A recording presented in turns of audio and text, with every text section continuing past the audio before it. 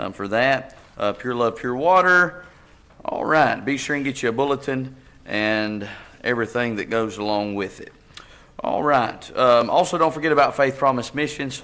Um, had that service this morning. Want to remind you, you can any, at any time you can turn in your pledge, and um, that's available to you.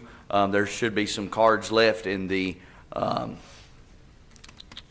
the envelope slot there in front of you in the pew. So please, uh, if you haven't done that already, get that turned in, and um, we'll appreciate all your cooperation and participation. Amen. Um, uh, supporting these missionaries and supporting missions across the world. All right. Um, anything else I need to announce? Any other announcements? All right. No other announcements. We do have a few prayer requests I want to make mention of. First off, um, please pray for um, Miss Wanda Altman.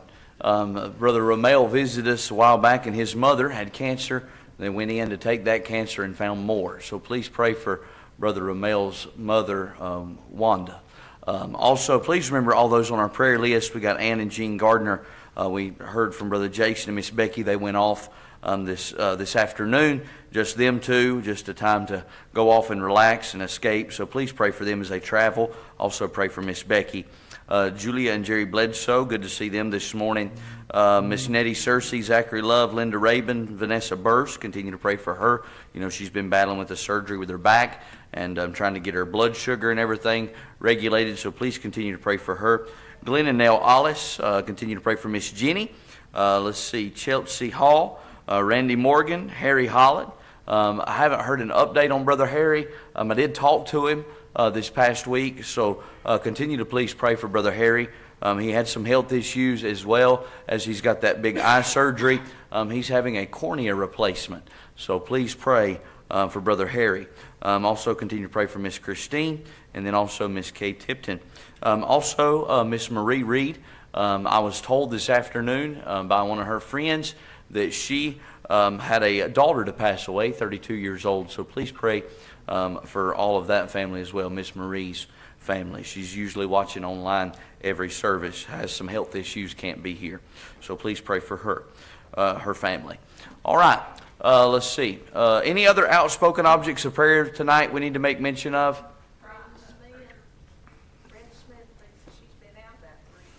Yes, yes, Miss Brenda. Miss Heather, did you get to talk to Miss Brenda Smith? Sounds pretty bad. She had the flu, right? She did have the flu one time. I don't know what else. She's, so please continue to pray for Miss Brenda Smith and Brother Darrell. Uh, we miss them, so please pray for them. Yeah. Yes. Okay. All right. Yes. Yes. Touch and go. Okay.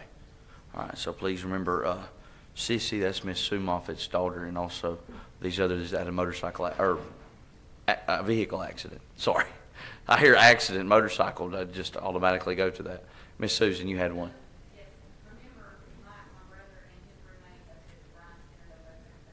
Oh my goodness! All right, so please remember Brother Mike Zulo and.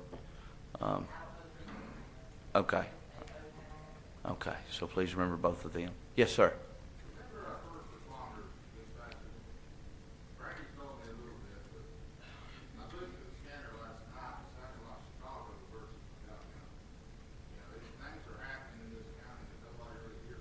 Yeah. Yes, yes. Yes, yes, amen. Yes, please remember all of those, all of our police, all of our um, EMS, uh, firefighters, uh, 911. Remember all of them. Um, yeah, we're living in a we're living we're living in a day where it's it's getting more and more prevalent, and anywhere you go, it's getting worse. So please, please, uh, please pray for all these that are right on the front lines. Amen. Always remember those in our church that are on the front lines: Miss Brandy and Robert and Ethan and Brother Greg. Um, if I'm forgetting someone, I'm sorry. I think I hit all the. So do what? Dewey, Dewey. I'm sorry, Dewey. I, am still getting used to that. I'm sorry, Dewey. Um, so please remember remember all these that are uh, serving in that capacity as well. All right. Any others? Was there one behind me? Okay. Amen. Um, I wasn't going to say anything, but I'm not going to let Satan win. Amen. Um, last Wednesday, I was just having one of those days where, like, it's just all getting to me. And Yeah. because I mean, who, who wants to go through this at 20 years old? It's, Yeah. it's hard for anyone. And um, I was sitting in the parking lot of the chiropractor, and I was just crying my eyes out. And I was like, Lord, I don't know how much longer I can take it.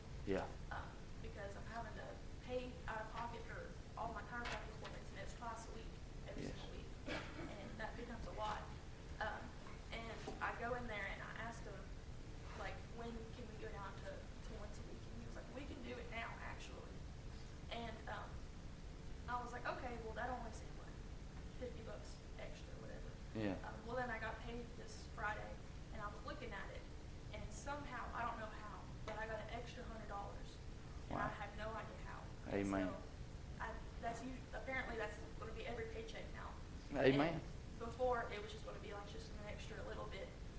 But even in the small things, I'm just glad that he gives us what we need. Amen. He Amen. listens to our cries. Yes, yes. Praise the Lord. Praise the Lord. Very present help in trouble.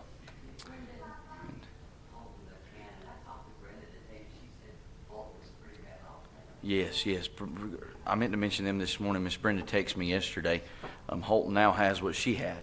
So please pray for both of them uh, that God would touch them. They said they'd be watching online. So uh, please pray for both Brenda and Holton. Thank you, Miss Ju- Judy. Thank you. Any others? Continue to remember me, my back, my family. I've yet to still overhear a back of my MRI because the hospital still has not uh, sent it back to my orthopedic. Yes. Um, I'm almost tempted to just call the hospital and be like, hey, I need this. Yeah. So, um, continue to remember me. Yes, absolutely. Absolutely. Amen. Amen. All right. Well, uh, if you have any unspoken tonight, let it be known by uplifting hands, something on your heart. All right, pray for the service tonight. Pray God be glorified and everything said and done. Amen. Let's pray together. Father, thank you, Lord, for this time again today, Lord. We're allowed to gather together, Lord, on this Sunday evening. Thank you, Lord, for speaking to our hearts this morning. Thank you, Lord, for good liberty. God, thank you, Lord, for moving in our midst, Lord, from Sunday school, Lord, all the way through service. Lord, we just ask God for your blessing tonight. God, we pray that you would speak to our heart, Lord, and help us, Lord, to be about your business, dear God. And I pray that you would bind every hindrance. Lord, and I pray that Christ would be high and lifted up. Please, Lord, be with each and every object. Lord, there's many in our church that are hurting. Lord, there's many, dear Lord, who are sick. Lord, we pray for Brenda and Darrell. Lord, we pray for Holton and uh, Brenda. Father, we pray that you'd be with all those that are sick and afflicted, or those that are still recovering, those that are traveling. God, those first responders, Lord, those that are serving our community, dear Lord, every single day. Father, we pray for your protection upon them. God, and I pray, Lord, that you'd help each and every one of us. Lord, as we live in this world, dear God, you said in this world we, you, we shall have tribulation, but you told us to be of good cheer because you have overcome the world. God, you are our anchor, you are our hope. God, and we please ask, we ask you to help us tonight. Keep our eyes on you. Lord, we pray for blessing. Lord, bless the choirs they sing. Lord, and I pray, God, you continue to bless our church. God, we thank you for how good you've been to us. Lord, we don't deserve anything. God, but we thank you, Lord, for uh, blessing us, Lord, and helping us. Lord, and I pray, God, that you continue to bless us and help us to stay on the right path. Lord, and we'll give you praise, honor, and glory for all you do. In Jesus' name we pray, and for his sake, amen and amen. All right. The choir's going to sing for us tonight. So you pray for the choir, and then uh, we'll have some special music, some preaching. Amen. Y'all ready? I'm not convinced. Get ready. Amen. You ready? Amen. All right. Go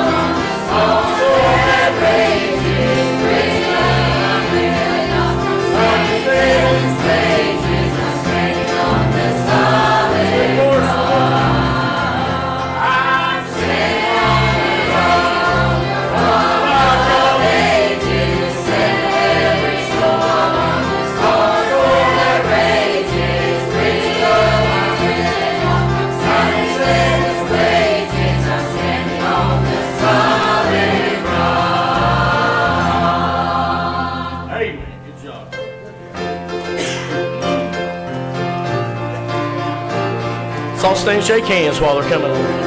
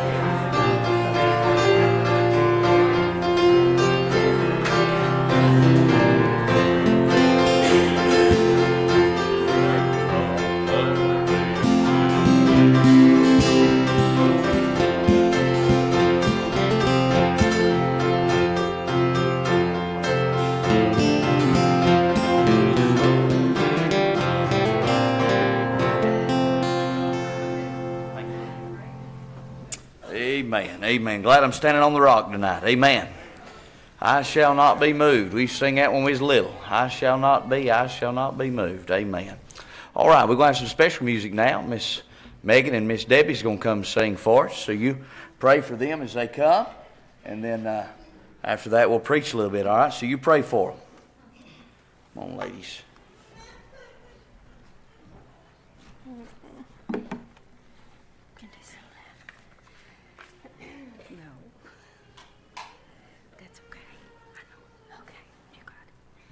What would I do without Jesus, the mm. shepherd of my valley? Lord, I just couldn't walk this road alone. When I'm hungry, he feeds me. When I'm thirsty, he's my water. I could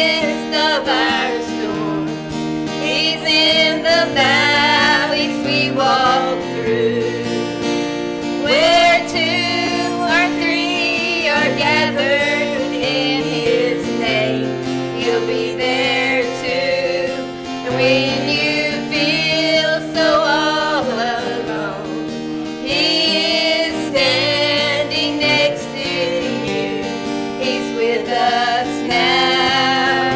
Our Lord, He's in the midst.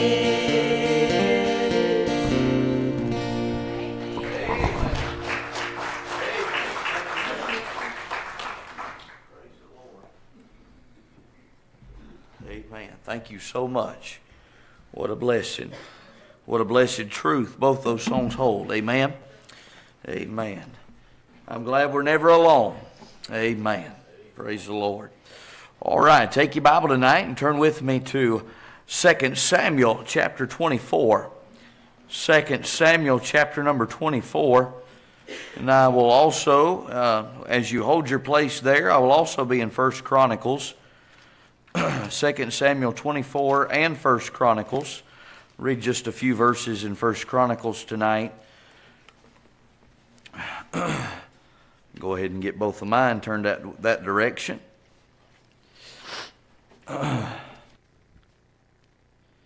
First Chronicles chapter 21 is where we'll be in First Chronicles, so let you go ahead and find your place there. We'll be toward the end of the chapter there, so that will hopefully help you get where you need to be.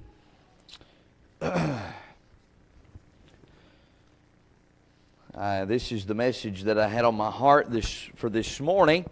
The Lord has held us off till tonight, and um, has uh, both of these have an application to missions and to um, supporting missionaries and to uh, obe- being obedient to God. You know, as Christians, our goal is not to uh, be seen, it is not to be heard, uh, our opinions or what we think, but our goal as Christians is to be obedient to God.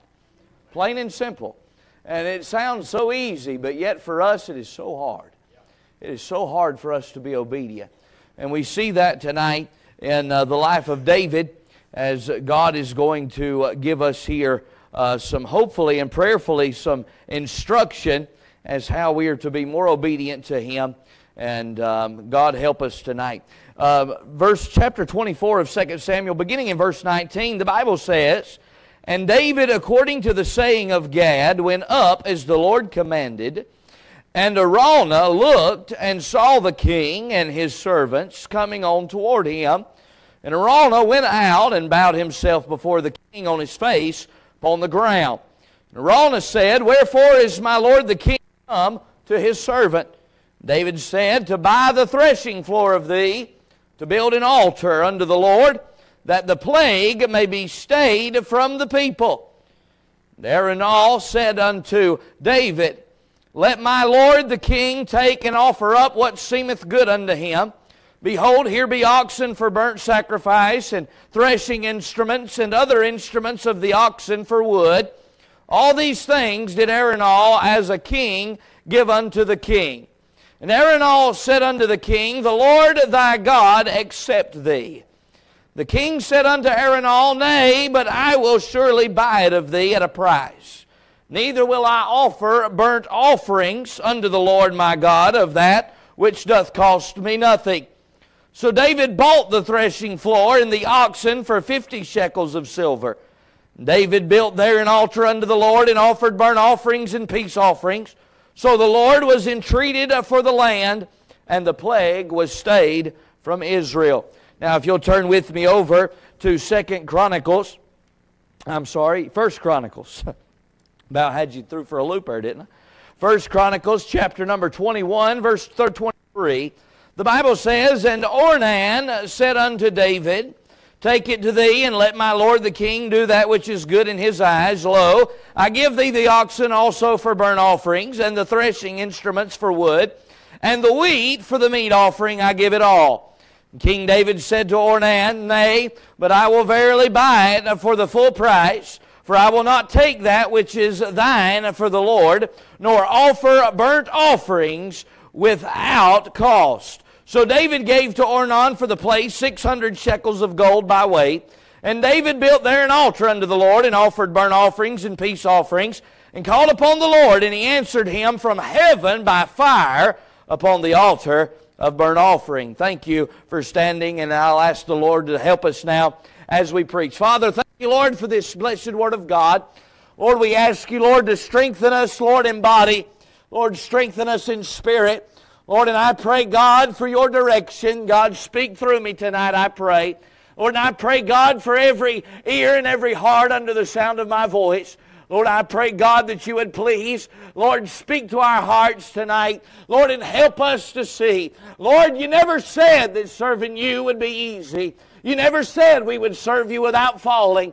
God, but you did say, Lord, that we would never be alone. Lord, you promised us, God, if we'd be obedient, dear God, you would bless us and we would hear from heaven. Lord, we ask you tonight to please, Lord, speak to us, Lord, and help us, dear God, to be more obedient to you and to be willing vessels, Lord, in the army of God. Lord, we love you with all of our heart. Save the sinner and stir the saints, for it's in Jesus' name we humbly pray and for his sake. Amen and amen. Tonight, I want to give you a little backstory. Israel has just come through many mighty victories. They have defeated enemy after enemy after enemy, and uh, they have defeated new. Ki- they have defeated new kings. They've defeated giants, and they have slain thousands of their enemies. And after seeing all these many victories, Satan realizes that he is threatened. And, church, I want you to understand that because of that, Satan tempts King David. You see, as long as we are in our court, Satan is not bothered. And Satan will not go on the offensive. Satan is fine as long as we're not upsetting his apple cart. Amen? However, where God wants us to be and where David was and where David was continually attacking was Satan's camp. Amen. And so uh, Satan got aggravated and he got bothered. And so uh, he entered into, when David entered into his territory, the Bible says in 1 Chronicles 21 1, and Satan stood up against Israel and provoked David to number Israel. Satan purposed in his heart to trip up David. Wouldn't it be nice to know that God, that Satan saw us as such a threat and as such a hindrance to his goal that he saw it necessary to try and trip you and me up? Amen. I don't know about you, but I like making the devil mad. If I ain't making the devil mad, I ain't doing my job. Amen. If I'm not upsetting the devil, then we're not doing our job. So you see, David had beaten all the odds because God was with him. However, the Bible says that David orders something that David knew better than to do. David ordered a census. You say, what is a census? A census is a numbering, a counting of how many people were in his army. You see, David began to be concerned because he believed the lies of the devil and he began to be threatened and he said, I want you to go and number the army. You say, why did he want that done? He wanted to know what his odds were. Can I tell you tonight that God was displeased with David's decision because when we're with God, our odds are always in His favor. Amen.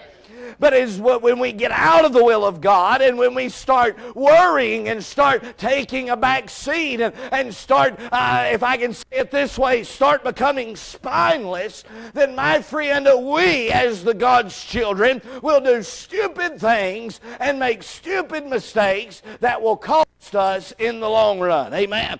Romans 8:31 says, "What shall we then say to these things? If God be for us, who can be against us?" David didn't need to number the army. He said, If God be for us, who can be against us? But David doubted and he listened to the devil. And when he did, when he did, God sent judgment. And my friend, therefore, God's anger was waxed hot against David. You say, but preacher, surely God is merciful. God is understanding. David made a slip, yes. But let me tell you, church, sin always comes with a punishment. Sin always comes with repercussions. And David was no exception. David was judged. David chooses that. And so God gives David three choices. He gives him three choices, and David chooses the least of the choices. He said, God, I choose that you send a pestilence in our land and that the people would suffer because of that. Now, my friend, because of this, thousands of men died, and David prayed to stay the hand of God. When your friends and your family and your co and your co-workers and everybody that you know starts to die, my friend, you can make it. You can make it. Uh, you can bank on it that it's going to bother you. Amen. I believe, I believe that it ought to bother us now that our co-workers and our friends and family are dying and going to hell and we need to do something about it. Amen. David was bothered. And so he went to God. And so David went to Araunah, as it is pronounced. David is at the threshing floor of Araunah, as pronounced in 2 Samuel, to meet with God and repent. And this is where we, uh, this is where God would, ha- this is where we read our text tonight. And I want to preach on this thought with the help of God. It's gonna cost you. It's gonna cost you. Church, have you ever stopped and considered that serving God is gonna cost you something? It is. Serving God is going to cost you something. And I'm not going to get into it right now because I'll get ahead of myself, but God's judgment is underway and people are dying all around, and David is the cause. And David said it's time to do something, and David did three things tonight with the help of God. I want to give you those three things. First thing I want you to see is the reason for the altar. What did David do? David didn't run to his neighbor and say, What do you think I should do? David didn't run to a king beside the, in a country beside of him and say, What do you think I should do? David didn't run to his family and say, What do you think I should do? However, David ran to the altar and ran to a place of repentance and ran to a place of, of forgiveness and asked God for help. Why in the world? Can we not learn from this and be obedient and say, God, we are in a mess. God, I've messed up. God, I've done wrong. And get on our knees and say, God, we're sorry. Let me tell you, God is faithful to forgive us of our sins if we will come to Him and trust Him. Amen. 1 John 1 9 says, If we confess our sins, He is faithful and just to forgive us of our sins and to cleanse us from all unrighteousness. Church, I believe that in this day and hour, Christians do not believe that like we say we do because God has a remedy for whatever's wrong in your life. The altar is the answer. I preached a message a few years ago, I believe it was, on church, meet the altar. You know, one of the most forsaken places in the church. It's not the baptistry, it's not the pew, it certainly ain't the dinner table. But my friend, it is the altar where we get on our knees and say, God, I'm sorry. God, please help me. We're ashamed. The altar is a place to meet with God. It is a place of confession. Without sin, there would be no reason for the altar. But because of sin, you and I cannot do without it. Church, the altar is a place that God not only wants us to go, but He expects us to go. David didn't see fire fall from heaven when he was walking to the altar. He saw fire fall from heaven when he knelt down at the altar. Amen. I wonder myself how many, how long, how many times have I passed up the opportunity to go to the altar when I should have knelt my knee and said, God, I'm a wretched sinner and I need you. I need you. I can't make it without you. Without the altar, sin will continue to kill and to destroy. But the altar is where sin is eradicated from our lives and from our souls. You know what's amazing to me? You came to the altar when you needed to be saved. You knelt down before Jesus when you needed to be saved. And my friend, there are many people that take the longest time and take spend so many hours and so many years and so many uh, many people have never been to an altar and haven't been to an altar in decades. And you say preacher well what's wrong with that? Maybe their life is all right. Let me tell you i ain't never met a christian that lived so good that they didn't have to go to the altar. Let me tell you something if Jesus went into the Garden of Gethsemane and knelt, and sweat became, as it were, great drops of blood falling down to the ground. And he thought there was a reason to get on his knees and talk to his father. I tell you, you and I have got more of a reason tonight to get on our knees. Go back, and I'm going to give you some homework tonight. Go back and look how many times Jesus went off by himself How many times the Son of God went off by himself and said, God, I need you. God, this flesh that I'm wrapped in, it's hard, it's rough, and I know why I'm here, and I ain't looking to get out. Lord God, ain't you glad he didn't look for a way out? Amen. Because he didn't have to look. He was the way out. Amen. But he, he never looked for a way out. He never, he never give up. But he went to his Father and he found grace. Amen. You say, preacher, he didn't find grace, he was grace. I'm glad you recognize that. Amen. Amen. My friend, he if Jesus needed it, if Jesus wanted it, if Jesus desired it, you and I should have that same desire to be on our knees before God. My friend, when we get to heaven, you might as well go ahead and practice now because the altar, there's going to be a lot of time spin around, bowed down before the King of Kings and Lord of Lords. I got a feeling when we get to heaven, we might spend more time on our face than we do on our feet. Amen. I tell you, He's worthy tonight to bow down before. The reason for the altar, David had sinned, and David come to repent. And the altar, if we don't get there, sin will continue. But the altar is where sin is dealt with. All of us here tonight, we know what it's like to suffer because of sin. We do. Anybody here has ever lost? On your way to hell? You better raise your hand. Every one of you was. The Bible says, For all have sinned and come short of the glory of God. We all know what it's like. But my friend, if you're saved tonight, you ought to remember what it's like to be around the altar and for God to forgive you of your sins. Number two, we don't only see the reason for the altar, but I want you to see the rejection of the allowance. Now, here is what I really want to get to. Because when David gets to Araunah's house, Araunah meets the king, and like any good servant would do, Araunah tells him, he says, King, and he and says, What are you doing here at my house? I'm a nobody. And he says, I'm here because I'm going to. I ain't got time to you this, and it ain't really in the message. But if you'll go back home and read it one more time, you'll see that the reason that David went to Araunah's house was because that was the last place that he seen the angel of the Lord. You say, Preacher, I've drifted far away from God. What do I do? You go back to the last place where you saw God, and you stay there till you meet him. Amen. Oh, David said, I want to go. I got to go to Araunah's house. And he went there, and Araunah met him and said, David, why are you here? He said, I come here to meet with God. I've got to, I've got to build an altar and a sacrifice. And he said, Here, take it all. Take it all. He said, Take the threshing floor. He said, Take the, this is this man's livelihood. Lord, there's a message just in that.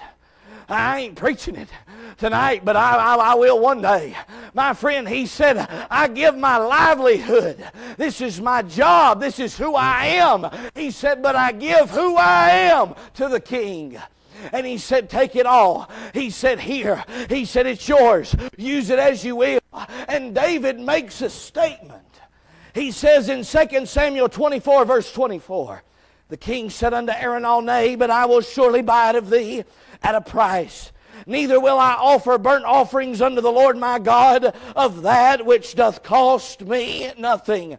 So David bought the threshing floor. He bought the oxen for 50 shekels of silver. And David would not bring nothing to God that did not cost him something. Church, if we are ever going to get closer to God, if we are going to get souls out of sin's danger, if we're going to make a difference, it's going to cost us something. Amen. David said, I refuse. I refuse to come to God with something that didn't cost me nothing. I wonder how many times times we've tried to serve God, but we wasn't worthy, we wasn't willing to get out of our comfort zone. Amen.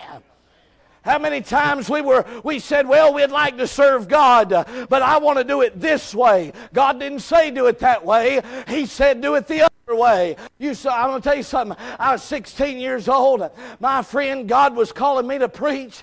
I said, God, there ain't no way. I'm too young. I'm too dumb. I'm too ugly. I said, God, they ain't nobody going to listen to this man. I said, God, you might as well pick somebody else. My friend, God was changing my heart and changing my plans. I said, God, I'll tell you what I'll do. I'll be faithful to church. I'll serve on the deacon board. I'll go soul winning. I'll do whatever you want me to do. But God, I cannot preach. You know what?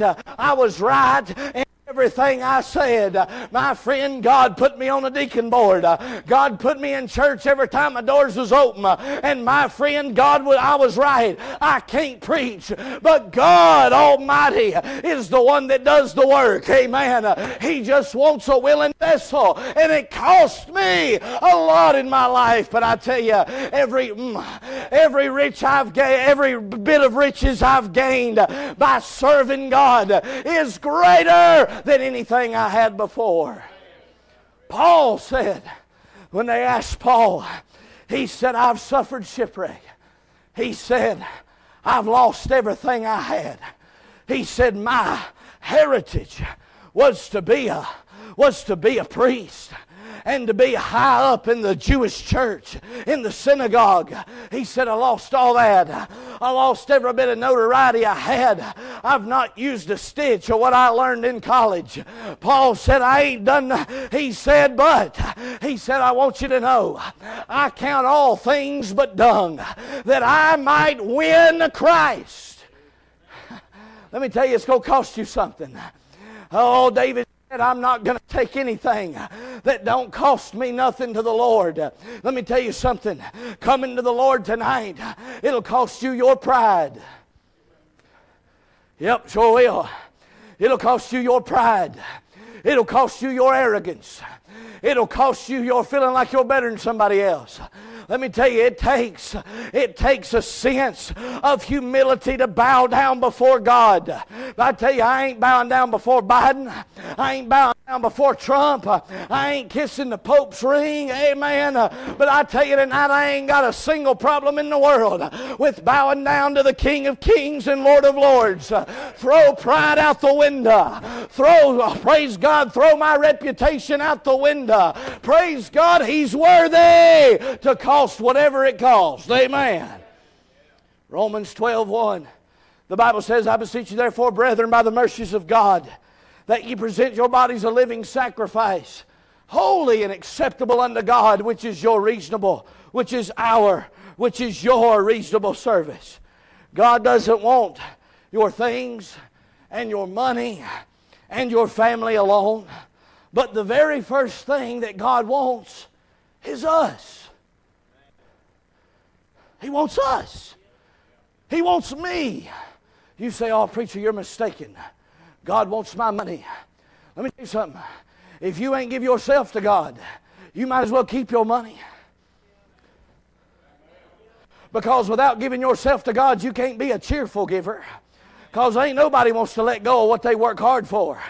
But when you give God you and you say, God, whatever you want, I want, guess what? You'll, when the offering plate comes, you'll sing Amazing Grace louder than you ever have before. I tell you, in my lifetime, this has only happened one time. And I know what some of y'all are thinking, hey, you're young. Yeah, I am. I thank God for it. Amen. Lord, if I was as. Never mind. God help me right there. But my goodness, I, I know I'm young, and but in my lifetime, in my ministry, 16 years, I've only seen one time that when the offering plate was being passed, people were shouting. I'm going to tell you, I went into that service thinking, boy, this is going to be good. The preacher that was preaching, uh, man, I was excited. The singers that was singing, I was ready. I was tanked up. But God caught me off guard when He swept through that place, when the ushers were walking down the aisle. You say, what got it all started? There was one little old man in the front. Didn't look like he had a dime to his name. But when the offering plate passed him, he put what he had in the plate. And son, as they was singing, I don't remember, what they were singing, but he come unglued.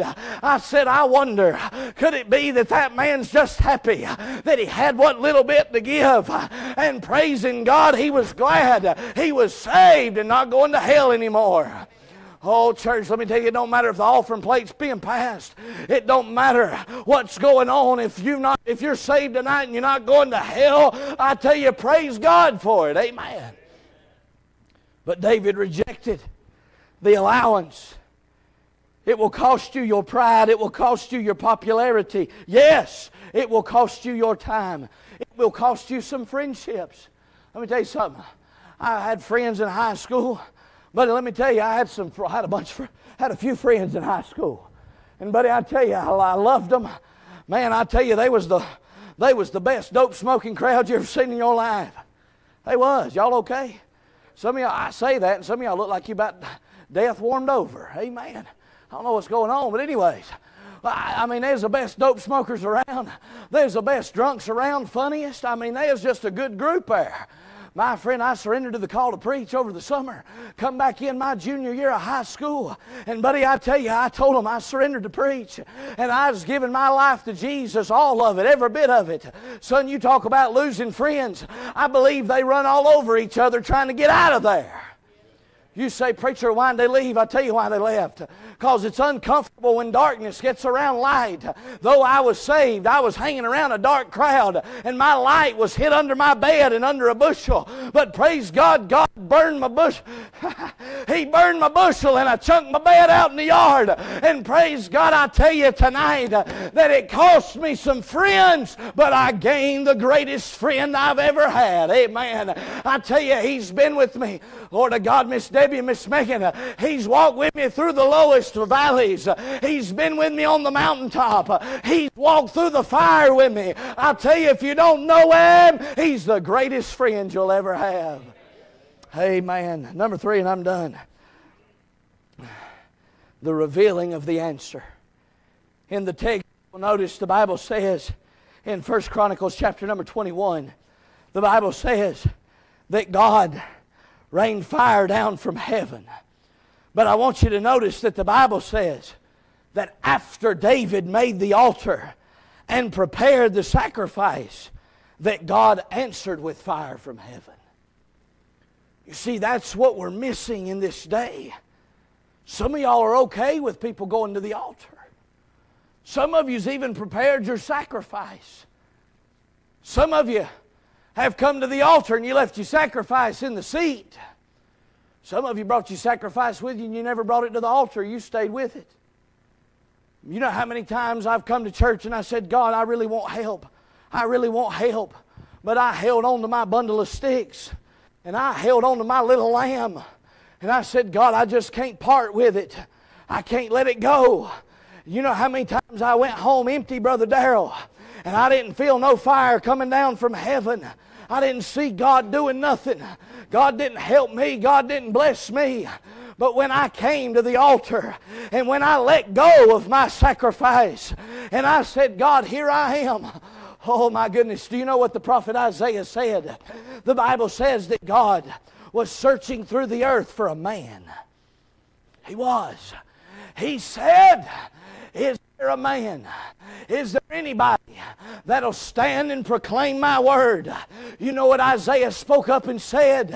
As a matter of fact, Brother Darrell, I ain't for sure he wasn't the only one. He's the only one we heard about. Isaiah said, Here am I, Lord, send me. You know what God's looking for in Chapel Hill Baptist Church? He's looking for some people that'll let go of the sacrifice and bow down on their face and say, Here am I, Lord, use me. Amen. The reason we spend more time getting out of the mess than we do reveling in the blessings of God is we, because we spend so much time trying to repair a broken fellowship with God than we do trying to repair a broken relationship with God. Fellowship with God. Let me tell you something. David had a relationship with God. Say, how do you know that? Because he didn't mess around. He went right to the heart of the problem. Here's what we do. Well, let's see if this will fix it. Well, I watched Dr. Phil today, and we'll see if that'll fix it. Maybe Joel Osteen's got an answer. I can promise you, you're barking up a wrong tree there. Especially if you turn on Joyce Meyer. Lord God, have mercy, help us. Well, maybe I'll go to the doctor. Maybe he's got a pill that'll fix me. No. We're trying to fix a fellowship problem when it's more than a fellowship problem, it's a relationship problem. You see, David and God had a relationship. And when the, God, David went to the heart of the problem. God said to God took his hand off of Israel and the pestilence went away. And David said, God, pour it all on me. It's my fault to begin with. Church, you and I have got to quit messing around and playing games. It's not, it's not a game to God and it shouldn't be a game to us. It's a relationship problem. My goodness, you say, Preacher, but I'm his child. Yeah, but even daddies have to whip disobedient children. I remember growing up, I'll hurry up with this. I remember growing up, my daddy. My daddy was had anger issues. And let me tell you, they, my brothers got them, my sisters got them. God helped me with mine. You say, how do you know that? Because they, they ain't been a hole in my wall since I got married. Praise the Lord. You say, what's a hole in the wall mean? I don't know. You want me to call my brother and ask him? Come home one day and there's a hole in the wall in the kitchen. My daddy said, What in the world's this hole in the wall? He said, It was your daughter or the wall. And I picked the wall. He said, Good choice. You say, What else did he say? Not much because he had done it too. Anyways, but God, my, my daddy growing up, and I remember my daddy telling me, Go to my room. And I'd go to my room, and I was already squalling like a, I mean, son, I was squalling like an Indian. Son, you'd have thought Cherokee done moved down the mountain, son. It was, it was bad. You say, why? Because I knew when my daddy told me I was in trouble, he meant it. Don't tell your kid they in trouble unless you mean it. Amen. And my daddy would tell me to go to my room, and I got a little older, and he explained to me, he said, Son, you know why I tell you to go to your room? I said, Why? He said, Because I love you. He said, And I know me. He said, If I act on my emotion, and right then, he said, I might hurt you. He said, But I've got to get to the state where when I whoop you, I at least leave stripes and whelps, and I don't leave bruises and cuts. I said, Dear Lord, Daddy, I'm so glad you sent me to my room. Because I got the whelps, I got the handprints across the face. I, I tell you, I got a lot of it. But I'm here to tell you, I'm thankful that my daddy did at least care about how I acted. I may not agree on how everything, how he done it. I may not, I may not want to be that way, and I thank God. Hopefully, I won't be. But I'm here to tell you. By the way, let me just go ahead and pass this off. If you don't believe me, you can ask Stephen. Me and Stephen. By the way, uh, never mind. I won't get into that. Me and Stephen, we was working on the church, and we was doing some different things. Son, he's a joker. Y'all know that if you spend any time around him. And uh, I, I warned him. I always warn all my friends. I ain't warned no church members, so I'm gonna go ahead and warn you. I was working at a place one time, and a man raised his hand. He was far from me. Raised his hand and was hollering at me. I said, I'm going to tell you something. I said, You better back up. All I had was a, a air compressed paint sprayer. Boy, let me tell you, that was bad for him to do that. I've heard that primer in the eyes is painful. And son, I warned him. I went in his office. I said, Son, don't raise your hand to me. I told Stephen, you can ask him after church. I said, You can joke, you can aggravate me. Don't ever pretend like you're going to hit me in the face. I don't care how big you are, I'll still slap you.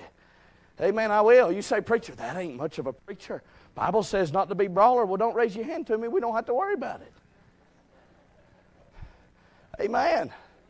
Everybody good? Amen. You pour gas on a fire while you're standing close to it?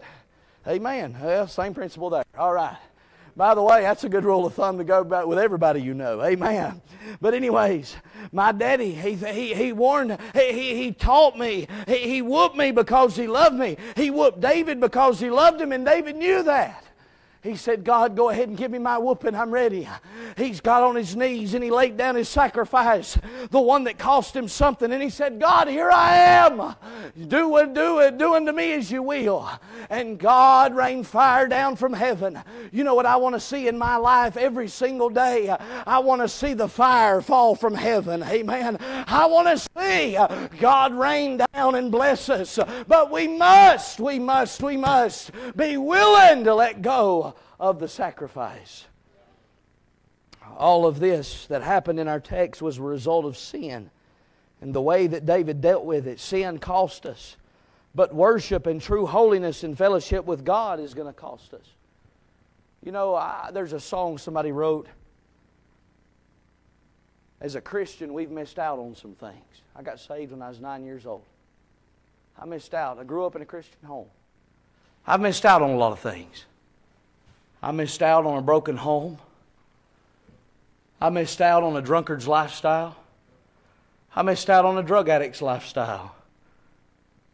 Friend, let me tell you what I've missed out on and what this, this Christian life has cost me is far better than anything this world has to offer. I'd rather be right here tonight on a Sunday evening than anywhere else in this world that I can think of. You say, what about Disney World? I wouldn't give you a plug nickel for Disney World. You say, well, uh, ain't there some place you'd rather be? Sometimes ain't no place I'd rather be than right here. Because let me tell you, church, everything I've lost, this place right here reminds me of everything I've gained. Every time I get around God's people and start worshiping Jesus, I'm telling you, He's worthy and He's worth it. We saw this verse Wednesday night, 2 Chronicles 7.14. If my people which are called by my name shall humble themselves and pray and seek my face and turn from their wicked ways, then will I hear from heaven and will forgive their sin and will heal their land. Church, let me tell you, I don't know about you, but I want God to reveal Himself to me, but He will not do it unless what I bring to Him costs me something. What a joy it is to have a God that loves us enough that even when we make the dumbest mistakes, He is willing, willing to forgive us and restore that relationship and fellowship that we've lost. I want you to think, I, I, I promise I'm going to pray. I want you to think how many times, how many times you have walked away from God and God should have kicked you to the curb how many times you've come back and God welcomes you with open arms. How many times have you fallen and made a mistake and you came back? You was punished. You cried. But when you came back to Jesus and said, God, my pride, I give it to you. I don't care what it, I don't care what, what it costs me, God. I just want to be back in with you. And every single time God brings us back, brings us right back into his fold. What a blessing. What a blessing. Let's pray tonight. Father, thank you, Lord, for this time. Lord, I pray, God, as there is a congregation of people here, Lord, that